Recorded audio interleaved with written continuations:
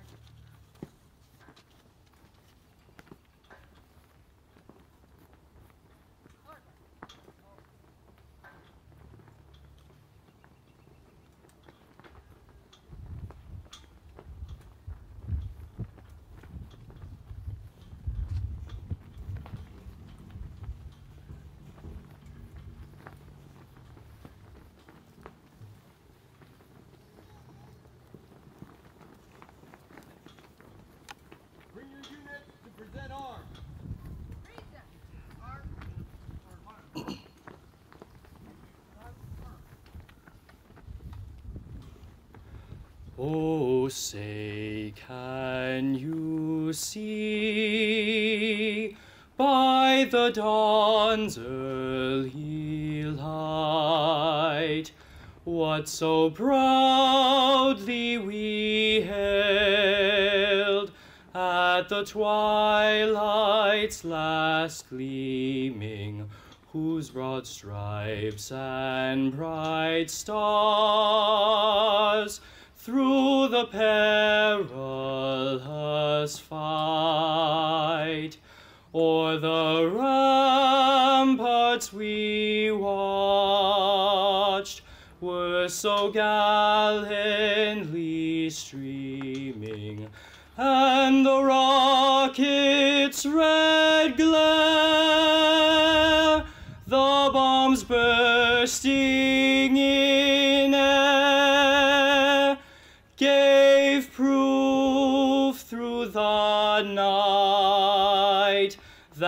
our flag was still there. Oh, say does that star-spangled banner yet wave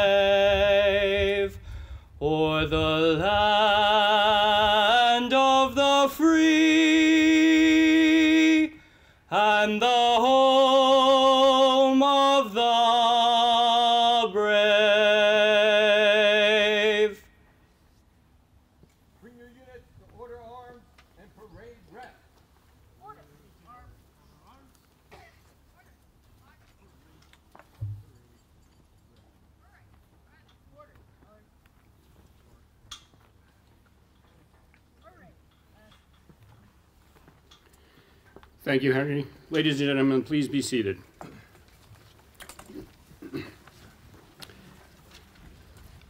At this time, Vermont State Guard Colonel Pat Boyden will offer an invocation and blessing of the colors.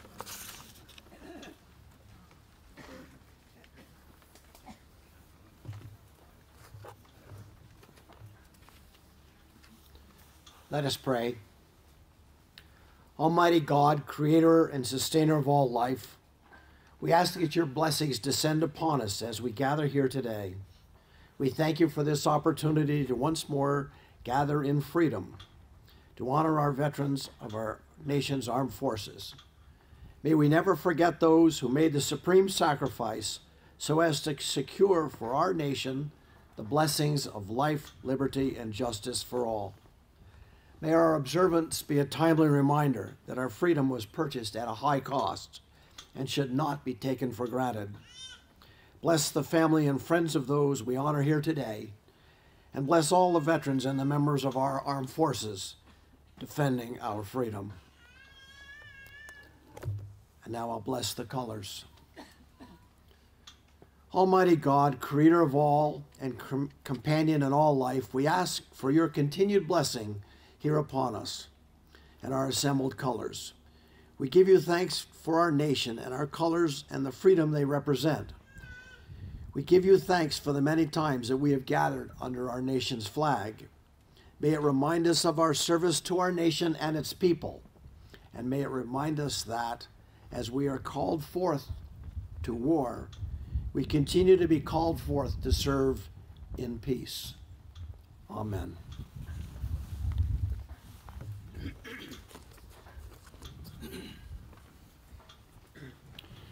Thank you, Colonel Boyden.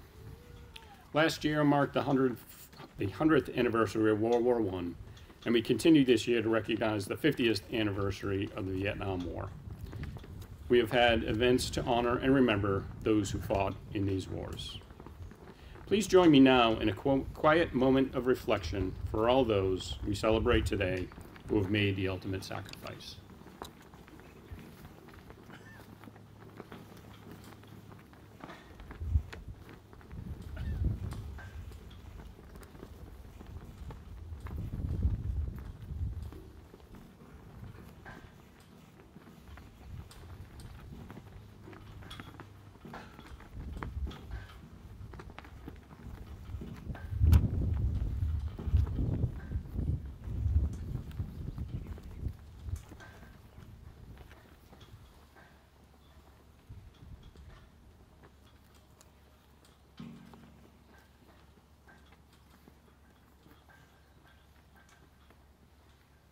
Thank you.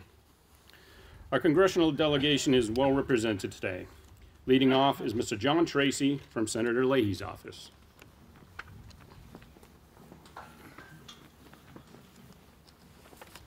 Good afternoon. It's an honor to be here on behalf of Senator Leahy.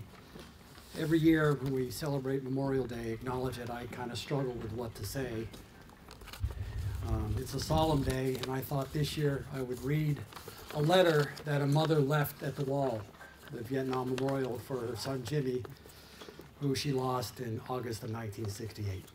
It's a universal message. Those who have lost people understand the pain. My dear Jimmy, it's time to honor our war dead again, and darling, I could cry my heart out. You fought a war and died. Part of me died with you. I'm still fighting a war I know I can never win. Try and live without you. My heart is broken forever. No one knows how hard it is to love and lose unless you've gone through it. I carry you in my mind every minute of my life. I talk to your pictures, say I love you and miss you and want to see you so very, very bad. But darling, pictures can't talk back. I tend to your grave and I sit and I talk to you, but graves can't talk back. If love and tears could have saved you, you would be here today. I go on my knees and thank God for the pleasure of having you for 20 years. I thank Him over and over again for the grandson you gave us. I thank God every day for my two wonderful sons, my Jimmy and my Wayne. Mamba loves you and will forever keep you in my heart until I see you some sweet day again, never to part. As I prepare to go to Washington, I know what you I wish to see, but I'll see your name, darling. It means you're not coming home to me. I honor and respect it. My hero, Jimmy, that means so much to me. I'm sitting here talking to you tonight the way we used to do, but I can't hold your hand and say, Jimmy, Mom loves you. I didn't want you to go, but you had a job to do. Jimmy, I'm so glad I held you in my arms and told you how much I loved you that day at Byrd Airport. When you came back, they wouldn't even let me touch you, darling. I didn't think that was fair. You were my son, and I will never forgive them. I gave birth to you and raised you and begged so hard just to put my arms around you and kiss you goodbye. Jimmy, I will say goodnight for this time. I will be talking to you tomorrow. I will never forget you. Your memories are my treasures. I will never let go of them. I love you and miss you more and more. Loving kisses, Mom. On behalf of Senator Lee, I thank you for remembering and to honor their lives. We should live ours so they can be honored. Thanks.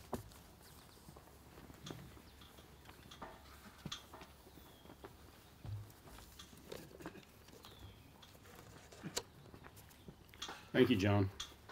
Next, representing the office of Senator Sanders is Catherine Becker Van Haste.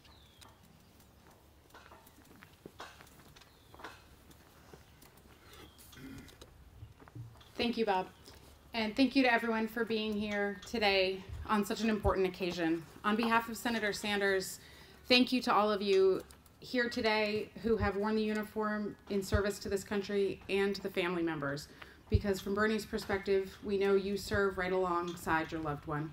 Um, when they go to battle, you go with them.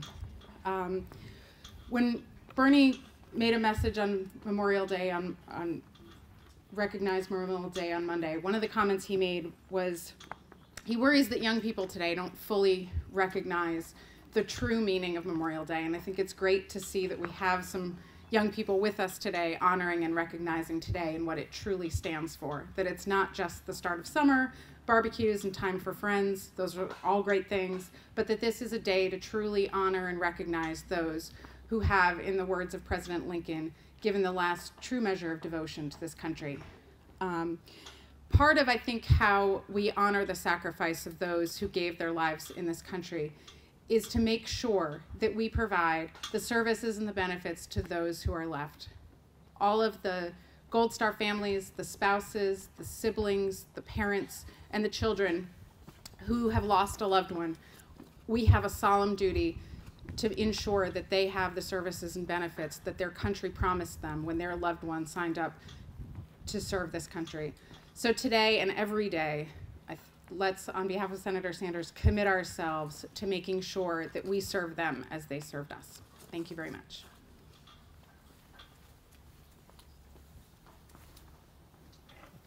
Thank you, Katie. Representing Senator Welch's office this afternoon is Elizabeth Morris. Hello, and thank you for that. Um, I have a letter from the congressman that I'd like to read uh, for you all here today. Um, he unfortunately was unable to be here in person. Uh, dear friends, thank you to Governor Scott, Major General Knight, and Robert Burke for including me in today's event. I regret that I am unable to be with you today for this Memorial Day ceremony. Though they are no longer with us, those Vermonters who have given their lives as members of the armed forces continue to serve. They serve as a reminder of what it means to be a patriot, what it means to take up arms in defense of your nation, and what it means to demonstrate incredible courage in the face of terrible adversity. Ceremonies like this one, happening all over the state and country, are important ways for communities to come together and remember those who gave their lives in service to our country. Words can't express the grief that family members, friends, and fellow service members experience when they lose someone to war. Memorial Day helps to acknowledge that grief and hopefully helps to combine it with pride. May we all continue to share in the sorrow of Vermonters lost in the field of combat and in the pride of their courage on our behalf. To the veterans, active duty service members, and families here today, thank you for being here to honor our fallen service members, and thank you for your service and sacrifice on behalf of our great nation. Sincerely, Congressman Peter Welch. Thank you.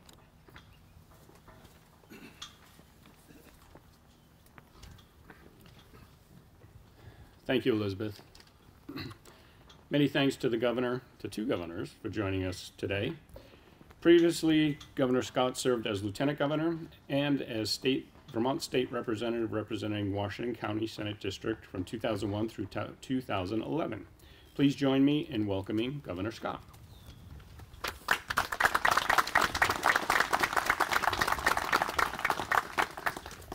Thank you, Director Burke, and I appreciate the invitation to join you all again here today as we pay tribute to Vermont's fallen heroes. I want to thank the members of the legislature and the Cemetery Advisory Board for being here today as well, as well as Governor Douglas and Dorothy.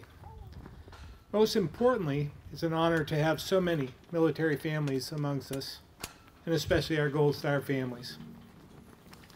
In the early summer of 1944, the world had been at war for nearly six years. Free nations were occupied by enemy armies. Democracies had fallen, and war was spreading in nearly every direction. On the morning of June 6, the Atlantic Alliance, led by our First Army, along with the British and Canadian forces, prepared to engage Nazi Germany on the shores of northern France. I often wonder if those soldiers, those young men, had any idea how much was at stake that day. I also wonder if they felt the weight of what rested on their shoulders, or if they had any concept as to how that day would help end the war in less than a year, end genocide, liberate millions from oppression, and bring peace to Europe that continues to this day. What happened on the beaches of Normandy 75 years ago next week, and those who sacrificed their lives must never be forgotten. Just like Yorktown, Gettysburg, and so many others, the D Day invasion was a pivotal moment in history when free people stood and fought against oppression and died to, to defend freedom, liberty, and equality. In the 243 years since the Revolution, nearly every generation in America has stepped up to serve this cause. Like Harold Bergeron from Essex, Vermont, who served in the 66th Infantry Division during World War II. Harold's transport was torpedoed by a German U boat crossing the English Channel en route to the Battle of the Bulge. He was able to jump onto a rescue boat, sparing him the same fate of the nearly 800 men who died that Christmas Eve, 1944. Harold passed away earlier this year at 104. He was the oldest living World War II vet in Vermont at the time. I had the pleasure of meeting him last summer when the local VFW organized an event to paint the house he was still living in independently. It was remarkable. Albert Sponemer of East Ryegate was awarded the Silver Star for gallantry. Thanks to his heroic work as a medic, he saved countless lives while continually exposing himself to heavy enemy fire on the shores of Normandy. Kimball Richmond of Windsor was at D Day too. He had to swim to shore under a hail of machine gun bullets and artillery fire after his boat was struck and, and sunk. On land, he gathered what was left of his men and moved inland against enemy forces.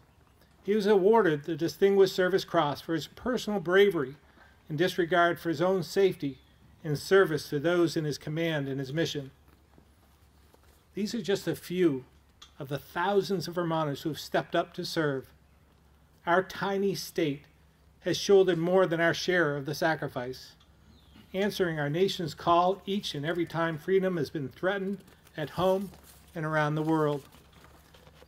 I know today we're joined by the family members of those who have given their lives in defense of our nation. On behalf of all Vermonters, I want to thank you for your sacrifice. My father was a disabled World War II vet from Washington, Vermont, who served in Patton's Third Army. He was injured when his tank hit, hit a landmine in the days after the D Day invasion. Those, those injuries eventually took him from this world when I was 11. So I know your pain as well as your pride. Serving your country is an honor, but giving your life to protect our freedoms is honorable to the highest degree. I want you all to know we will never forget those who sacrificed so much. We live in freedom thanks to them, and it's important that we don't forget how they lived just as well as how they died and has more than just names and dates engraved on granite and, and marble memorials. President Coolidge said, The place with which these heroic figures hold in history is forever more secure. They did not hesitate. They did not yield. They met their duty squarely. For its fulfillment, they were prepared to give their fortunes and their lives. It ought never to be forgotten that it was out of this spirit supported by these sacrifices, that our country was established. So today, after a long, cold winter, let us mark the first signs of summer by thanking all the heroes who never came home and those heroes yet to come. We can never do enough to honor you, but saying thank you is a perfect start. So thank you.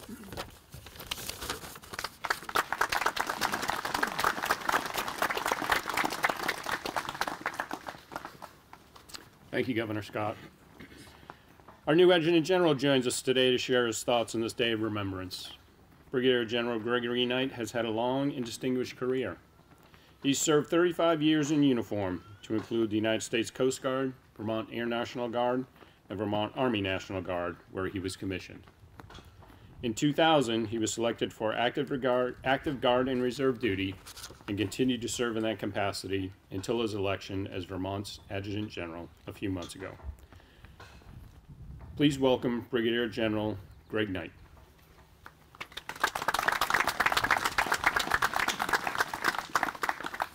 Thank you, Bob.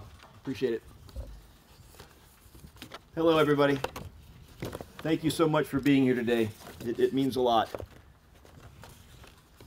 Before I get into my prepared remarks, I would share with you that Memorial Day has a special meaning to me, certainly after uh, our deployment uh, from 2005 to 2006. So um, I understood it and knew it before then, uh, but following that deployment, where we lost 15 of our soldiers and one of our Marines in our battalion. We lost 83 in our brigade. I can assure you it has certainly more meaning to me now than it ever did. And it is important that today, at least, we remember those who have gone before us. They did give their last full measure of devotion to our nation, to us. We must remember them. We are their legacy. Regardless of the conflict, the purity of their sacrifice and the honor of their service is without question. Our fallen gave their lives in order to guarantee our freedom and make the freedom of others possible. To quote from the book of John 15 13, greater love has no one than this to lay down one's life for one's friend. There are hundreds of stories to tell about our fallen and so many examples to learn from. Many of them are here in this cemetery. I see names that I recognize. These are my friends, my colleagues Dan Cotter, Michael Heston, Larry Suchier. Please let me remind you that the heroes we remember today are not exclusive to any service, any gender, race, religion, economic background. They're a diverse group united by the common principle that America and the people they serve are worth dying for. They will and should be forever in our hearts and foremost in our thoughts. As we observe Memorial Day every year, also please keep our Gold Star families in your prayers. I've mentioned it before at other speeches, and I will mention it until the day I am done. Remember them because they remember their fallen loved ones every day. These families have also sacrificed. So it is certainly up to us to be there for them, to give them the support that they need, and express our highest gratitude. I'm going to leave you with my favorite quote, because I truly believe it succinctly captures the spirit of our fallen. It's from Thucydides, an Athenian historian in general. The bravest are surely those who have the clearest vision of what is before them, glory and danger alike, and yet notwithstanding, go out to meet it. Thank you again for being here today, and God bless all of you.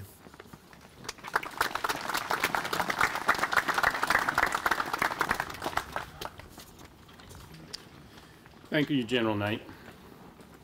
Before taps is played, the Spaulding High School ROTC firing party will offer a 21 gun salute to honor those who have fallen.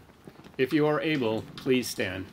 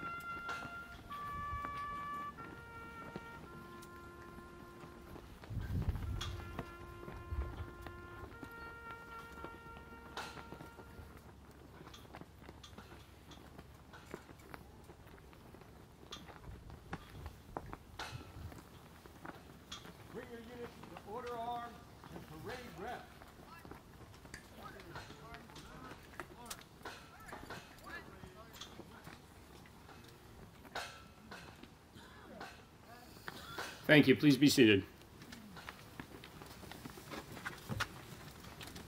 Colonel Boynton will now offer a benediction.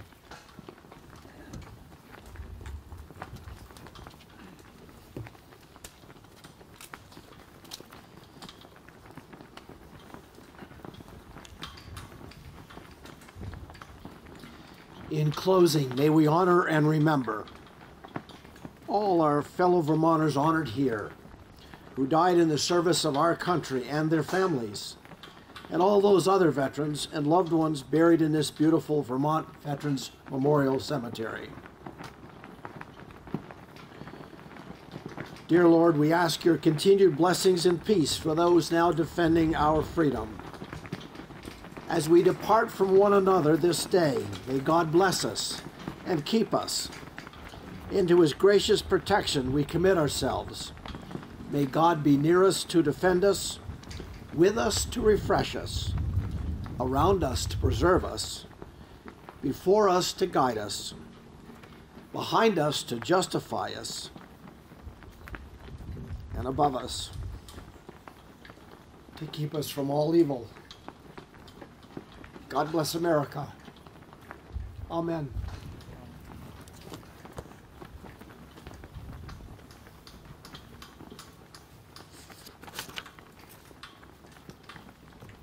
Thank you, Colonel. If you are able, please rise as we retire the colors.